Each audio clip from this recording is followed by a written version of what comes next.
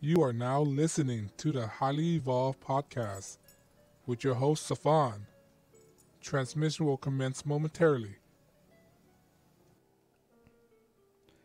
How are you guys doing? This is the Highly Evolved Podcast. My name is Sophon. You can find me on Twitter and gab.ai.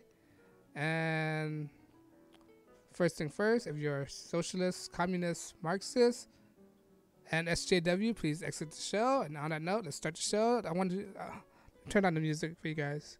I know you like jazz, but not at the moment. I just want what ha- I just want to address what happened on Saturday. Yesterday was Saturday. Um, during the Trump rally in Wisconsin, it was a great it was a great rally. Right, addressed all the BS that's going around the government right now. Right. Um, that day, the same day, he that the Trump rally happened is the same day that the correspondent dinner. If you don't, if you don't know what the correspondent dinner is, basically a bunch of journalists gather in Washington D.C. try to try to pat themselves in the back by generating fake news, right? And they're kind of mad because the president's not there. This is what I don't understand, right? Why would you? Why would the president go to a place to get chewed out by a bunch of people that don't like him? Right? Isn't that like setting him up for a trap? And not only that, that the president show up, the the secretary of um, what's that? Um, Sarah Sanders, right? I forgot what's her title. Sarah Sanders didn't go too because normally um, the press secretary. That's what I'm saying. That's what I want to say. The press secretary usually shows up to to have like um to build a relationship with the press, right? But she didn't show up, and I think that she did the right thing. What is last time she went? They totally screwed her over, talking smack about her, right? And I don't see no benefit for any Trump administration to go to the correspondent dinner. Right? They one says in good nature to make fun of people, but the true intent is to make to berate them, make them look bad. That's what it is. And I think that Donald Trump did the right thing and not going to this stupid press um, dinner, whatever the heck it is, right? Like look look look at this. If you put put yourself in his, his perspective, if you have a dispute with your enemy and your enemy invites you to a dinner, would you go to his, his your enemy dinner? Right? If you are in dispute with somebody who hates you, right? All of a sudden, or try to do some harm to you, and they invite you to dinner, would you go? No, you wouldn't go because these are your people that don't like you. Why would you go to a punch place? Why, would you go to a place that's infested with people who don't like you.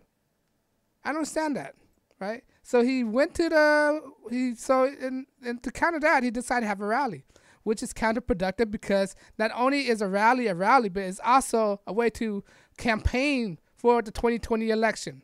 That's a good thing. So he Donald Trump found a good way to campaign while having a rally. All right, instead of wasting his time on this correspondent dinner joke, which is stupid. All right, it's so dumb. This correspondent dinner. It's not a roast, all right.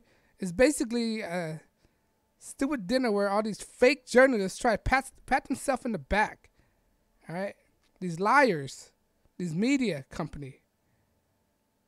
But anyway, he have a back to Donald Trump. He have a wonderful rally addressing what's to come.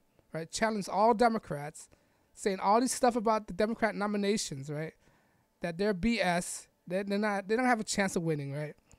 Wisconsin's totally for Donald Trump, right? Hillary didn't even campaign in Wisconsin, right? What? I don't think any Democrat would want to campaign in Wisconsin. but I don't know. I might be wrong, but they have no choice, no chance. These Democrats are dumb as heck. All right. So people showed up. It was a packed arena, by the way. It was packed there was a lot of people, right? And Diamond Silk was up there. right? Donald Trump gave a a long speech. It was like almost what, an hour and a half long speech, and this comes from a seventy year old guy, seventy two. Was able to do that. It was making fun of Joe Biden, how old he was, and he's still young, and he's still able to crack jokes. All right. Donald Trump basically solidified his his his his rank. These Democrats got no chance of winning. And now they want to push Joe Biden, sleepy Joe Biden. And Donald Trump made a funny distinction distinction that Elizabeth Warren is out. She's not winning. He was, was looking forward to campaigning against her, but Pocahontas is out. And he was saying that he got more native blood in him than Elizabeth Warren, and he's not even native, which is funny. All right. Well, and Donald Trump going to win. I'm going to say he's going to win the next election. He's going to do more campaigns, more rallies, right? With this court, if he were to go to this stupid correspondent dinner, right? It would. It's not kind of. It's not counterproductive, right? Why wouldn't go to a place to get attacked, then you go to a place and have a rally and campaign? Right? It doesn't make sense. You won the campaign because right now, what I see, what, what Donald Trump is doing, he's campaigning early. Right? He's campaigning early. He's already beginning campaigning. That's what it is. This rally is a campaign. So he's already starting it. Most presidents don't even campaign until the year before, right? So he's having he's getting a jump start, and clearly he's he's gonna win this. I'm sure he's gonna he's win. He's gonna win by landslide. The Democrat got no candidates, no message. Their message is pushing people back and back to the left, right? Their their campaign are are mixed message. Their their their party are destructive, counterproductive. They got no clear meaning or message. I said that so many times because it's true, right? The the Democratic is about to break up, right? There's so many conflicting ideology within the party, right? One is further to the left, the other is more moderate, the other is centrist. They're like, what do you, what do you guys stand for, huh? Democrats? You guys are clearly breaking apart. This is the destruction of the Democratic Party, right? And the destruction of the media, right? The media, the media have the reason why they had the correspondent dinner is to show to give you know to have some kind of authoritative figure or some kind of um what's that word I'm trying to look for? Not authenticity, legitimacy, right? By having the president there. Now the the president's not there, so what kind of legi- legitimacy they have now? They got no legitimacy at all. All right, they got no legitimacy because he's not at their stupid dinner. All right. But I just want to make a, this video addressing the the Wisconsin rally. It was a great rally. He gave a great message. He signed within. He mentioned that he signed out of the UN deal. That was that was a big deal because we're we're paying for the UN troops and all this stuff for no reason, right?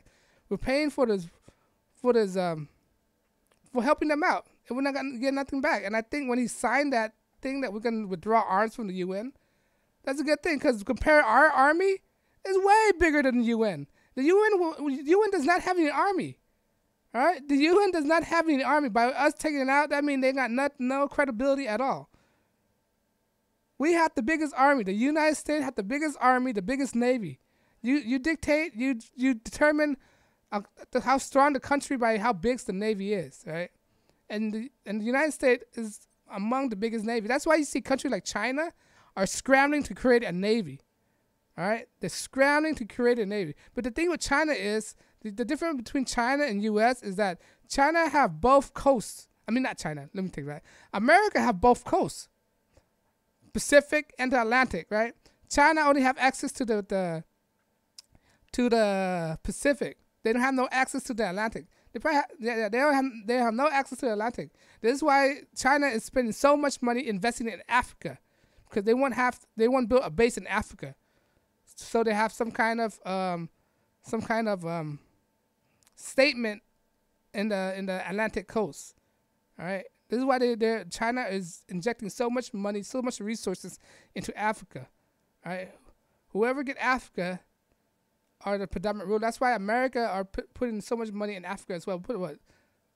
Some something billion dollars, sixty billion dollars in Africa. Right. So we're, we're competing with China right now. Right. You determine how big, uh, how strong a country by their navy. This is why China are scrambling to build artificial islands, build planes, because they, they, the the reason, the one thing that China are behind is their naval, their navy, and and they're stealing our technology to create their navy. All right, so this is why we're we need to beat China in what they're doing. All right, but back to what I was saying. I digress on the stupid China issue, but um yeah, Donald Trump did a great job at the rally. You should watch it. It's an hour long or hour plus long. Um, he said some amazing things, right? He said something I agree on. Um, like I said, I'm not. If Donald Trump does something I like, I, I would not hesitate to, to um, to challenge him on it. But by watching the rally, you know, you know, I agree with most of the things he said, right? By watching the rally. But on that note, guys, let me know you agree. You like the rally? You like what he did in Wisconsin? You think he you think he did a good thing by not going to the correspondent dinner? Right? You think he did a great thing for, for allowing Sarah Sanders to be a rock star? Sarah Sanders came up there and everybody was praising her. That was the highlight of the moment. Sarah Sanders was there. All right. Sarah Huckabee Sanders, let's say that. And yeah, let me know you agree you liked it. This on that note, guys, I just want to say I'm unmonetized. I'm not funded by anybody. That means I'm not bounded by anybody's opinions. I bet my own. If you like what I do and you want support, please follow me on Twitter, gab.ai, and most definitely subscribe because I want to get as much of my content to as much people as possible, spreading my message to as much people, people as possible. And it's only for patriots well, it's not only for patriots, people who's willing to change the way of thinking. That's what it is. If you're a communist and you want to change your way of thinking, you know, just listen to other people's video. Don't just judge them by by the looks and stuff like that. But if you want to support, most definitely hit subscribe, like, share, follow me on social media. And on that note, guys, I'll see you guys in the next broadcast. This is the Hollywood Hollywood podcast. My name is Stefan, and I'm signing out. Peace. You guys have a good day.